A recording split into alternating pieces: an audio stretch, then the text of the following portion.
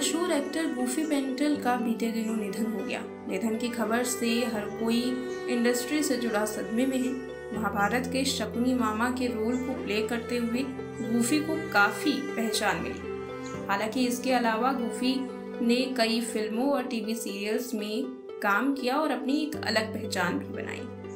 Goofy को कोई भी किरदार दे दिया जाए तो वो उसे इस तरह निभाते थे कि मानो उसमें उन्हें महारत हासिल। जब गूफी शकुनी मामा बने तो लोग उनसे नफरत करने लगे।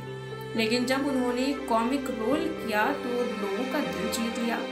गूफी का जन्म पंजाब के सिख फैमिली में 4 अक्टूबर 1944 को हुआ था।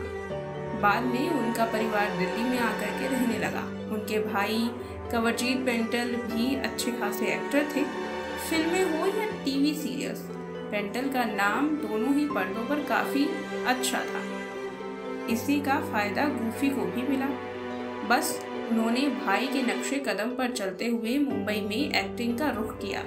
गूफी पेंटल ने अपने करियर की शुरुआत 1975 को आई फ़िल्म रफू चक्कर से की थी। इसके बाद दिल्लगी, देश परदेश, मैदान जंग, दावा, द रिवेंस गीता मेरा नाम जैसी कई फ़िल्मों में नज़र आए। उन्होंने लगभग 10 फ़िल्में और 16 टीवी सीरियल्स में काम किया, लेकिन पहचान महाभारत के शकुनी मामा के रूप में मिली। इस आइकॉनिक किरदार को गूफी ने इतने बेहतरीन तरीके से निभाया कि आज भी लोग उन्हें उसी रोल के लिए जाने जाते हैं। गूफी के ये किरदार आज उनके जाने के बाद याद कर रहे हैं। टीवी इंडस्ट्री हो या बॉलीवुड की इंडस्ट्री, हर कोई गूफी को श्रद्धांजलि दे रहा है।